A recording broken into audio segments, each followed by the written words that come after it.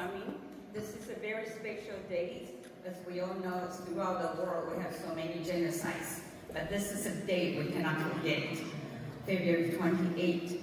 And I hope our music brings a lot of joy and peace throughout the world. This is a piece I composed right after I came back from Taiwan.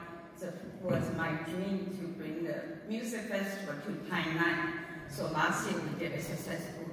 And thank you for all your support. So this is a piece, a little bit of Taiwan swapping, and then as we went to a church, all that stuff. So I hope you can catch some.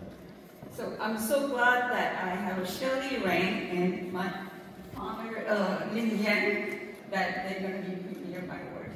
It's my honor.